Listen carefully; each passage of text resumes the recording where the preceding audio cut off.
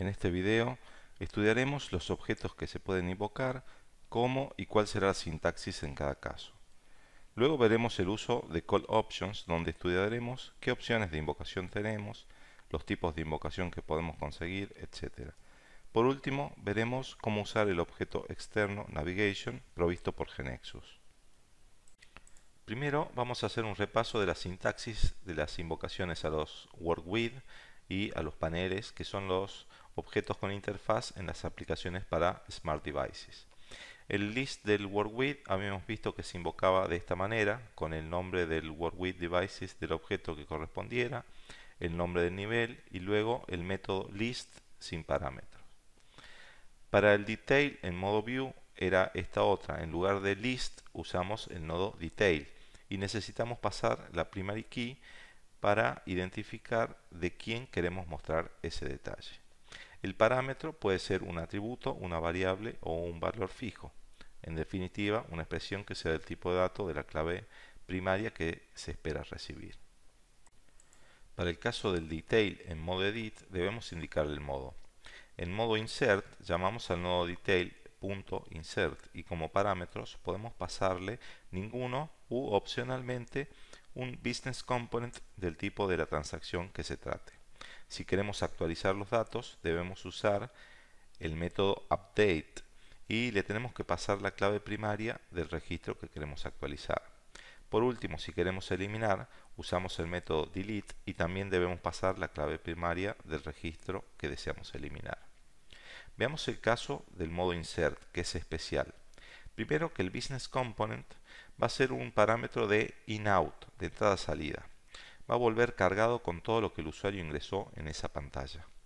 También, si necesitábamos pasarle algún parámetro a esa pantalla del detail, antes de llamar al detail en modo insert, podemos inicializar los valores que le queremos pasar en ese business component y luego esos valores van a aparecer inicializados en la pantalla de insert. El usuario va a modificar los valores que le interesan y va a grabar los datos. Por ejemplo, en este caso de la llamada insert de un orador, la clave primaria de speaker es autonumerada. Supongamos que necesitamos saber el valor que se le dio a esa clave primaria o el nombre completo. Entonces, en ese caso podemos utilizar el business component luego de la invocación que retorna con los valores asignados. Además de lo que ya habíamos visto de inicializar el valor del país, por ejemplo. Y por otro lado, tenemos la invocación a los paneles, que es exactamente igual a la invocación a cualquier otro objeto GNexus. Las call options nos permitirán modificar en runtime ciertas propiedades que tienen que ver con la experiencia del usuario. Estas configuraciones deben ser realizadas un instante antes de invocar al objeto. Las propiedades que podemos configurar son los efectos de transición, que pueden ser el de entrada o el de salida, los valores posibles son los del dominio effect, el tipo de llamado con los tipos push, replace, pop-up y callout, este último solo disponible en iOS. Acá se utiliza el dominio enumerado callType. El target donde se desplegará, que puede ser izquierda, derecha y abajo, este último solo para iOS. El tamaño con las opciones small, medium y large y de manera personalizada el tamaño especificando el ancho y alto en dips o porcentajes usando las propiedades target width y target height. Por ejemplo, si quisiéramos llamar un panel como pop-up con un tamaño medium, podríamos configurar las propiedades type y target size como vemos en pantalla y luego hacer el llamado al objeto normalmente. Vamos a ver un ejemplo en Genexus. Recordarán que en otro video cuando vimos el uso de Action Group y personalizamos el Application Bar, habíamos estado trabajando sobre el WorkWith Devices Restaurant. Habíamos agregado un botón Map en ese ejemplo, pero nunca eh, programamos dicho botón. Bueno, eh, en este caso vamos a, o les voy a mostrar cómo completarlo. Primero vamos a ver en ejecución qué es lo que hicimos o, lo que vamos a hacer. Desde el Word with de Restaurants, ¿sí? cuando accedamos al botón de Map, vamos a mostrar una pantalla intermedia que le permitirá al usuario seleccionar el tiempo disponible para almorzar, por ejemplo 90 minutos, y cuando le da OK el usuario se le van a mostrar en el mapa esas opciones y no todos los restaurantes, sino filtrado por el tiempo en el que el restaurante se compromete a dar el servicio. Vamos a verlo, por ejemplo, con un valor más restrictivo, 30 minutos. Y vemos que tenemos menos opciones. Bien. Además, desde el mapa puedo ver cierta información, el, el nombre, la dirección y si hago tap sobre el elemento me lleva al view del detail de ese restaurante. Bien, vamos a ver cómo programamos todo esto. Vamos a empezar por el panel del mapa. Este panel tiene la misma grilla del list, exactamente la misma, hicimos un copy de ese elemento lo pegamos en este layout pero configuramos el control type sdmaps esto ya lo habíamos visto en otro video cuál es el location attribute etcétera ¿sí? las distintas opciones en los parámetros vamos a recibir para poder filtrar en una variable timing el tiempo de servicio que quiere el usuario es un dominio enumerado que tiene los valores 30, 60, 90 y el 0 se usa para eh, todos, la opción todos.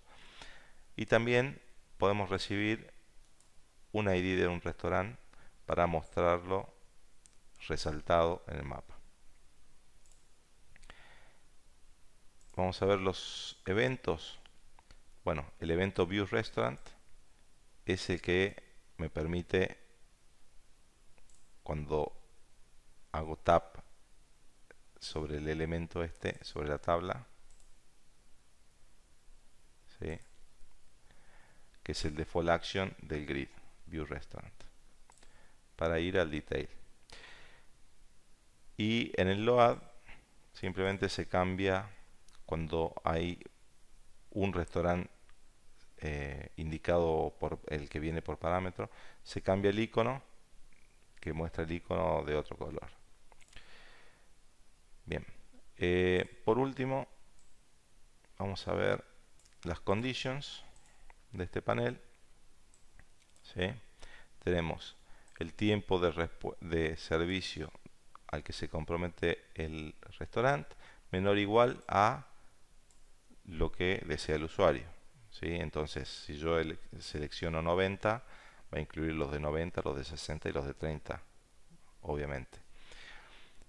Y este filtro se va a aplicar cuando la opción sea distinta de todos. Y el otro filtro es simplemente para filtrar por clave primaria cuando la variable tenga un valor, la que recibimos por parámetro. Vamos a ver ahora el panel intermedio que usamos para, eh, para que el usuario seleccione el tiempo del que dispone. En el layout de vuelta tenemos la variable timing, ¿sí? que está basada en el, en el dominio, al igual que el que recibía el mapa, y dos botones. Uno para que el usuario cancele la operación y no se muestre el mapa, y el OK para que retorne efectivamente el valor seleccionado. En las rules este panel retorna el valor seleccionado por el usuario y una bandera OK que retornará en true cuando presione OK o en false cuando presione cancel. Vamos a ver ahora sí el word width. En el botón mapa, que es lo que hicimos, Llamamos al panel que muestra el filtro para que el usuario seleccione un valor.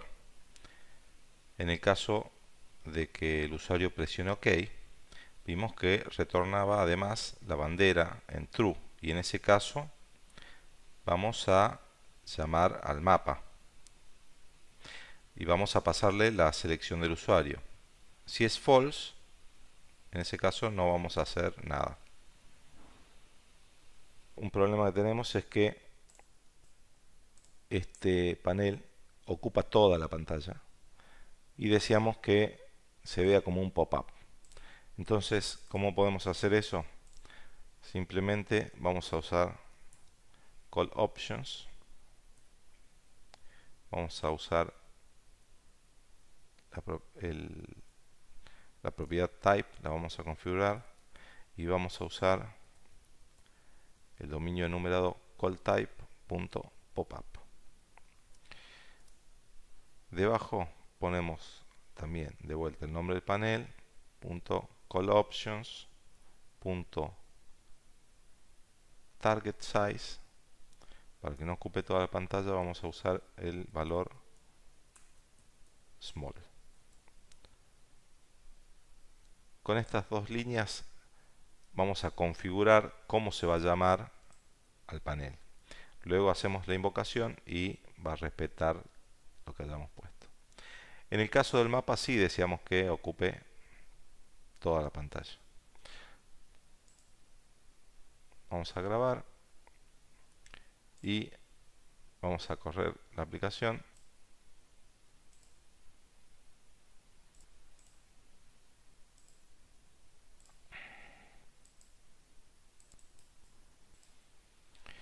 Bien. Vamos a ver entonces cómo quedó el panel. Ingresamos a el list de restaurants. Vamos a mapa y ahí vean que ahora el panel se ve como un pop-up. ¿sí? Es modal. No puedo hacer en este caso clic fuera de él si en este, están en iOS y usan la opción Callout, se muestra como un pop-up, pero no es modal. En ese caso, si yo hago tap fuera de la pantalla, va a volver a la pantalla de atrás. Vamos a seleccionar para ver los registros en el mapa y el mapa no toma la configuración de las call options, lo cual es correcto. Volvamos a la presentación. Para los estilos de navegación slide o split contamos con distintas regiones como left, right y bottom.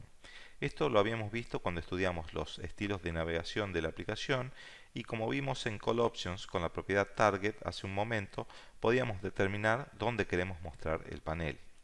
El External Object Navigation permite a los desarrolladores mostrar u ocultar contenido en forma dinámica en la región que se desee. Si bien el objeto Navigation posee más métodos y eventos definidos, en la imagen solo mostramos los métodos ShowTarget y HideTarget, que son los que tenemos disponibles para usar en Smart Devices. Los demás métodos y eventos de este objeto están disponibles solo en entornos web. Por ejemplo, si el Navigation Style de la aplicación es Slide y el panel central contiene un evento definido como se muestra, no solo hay que cargar el panel en la región derecha con la Call Option Target, como estamos viendo, sino que hay que desplegarla también. Si no lo hacemos, el panel se ejecutará, pero no estará visible, a menos que estemos usando Target Content. Y para ello se utilizará entonces el método ShowTarget del External Object Navigation. Vamos a hacer un resumen de todo lo que vimos. Primero vimos la sintaxis para llamar a los distintos objetos generados por el patrón WorldWidth y a paneles, el pasaje de parámetros en cada caso. También vimos las configuraciones que podemos utilizar por medio del uso de call options, como transiciones de entrada y salida, el tipo de llamada que podía ser pop-up, call-out, push, que es el default, y replace. En otro video se estudiará en detalle las diferencias entre push y replace. Vimos también que podemos configurar el target en donde se abrirá el objeto cuando usamos split o slide y size que nos permite modificar el tamaño cuando usamos pop-up o callout.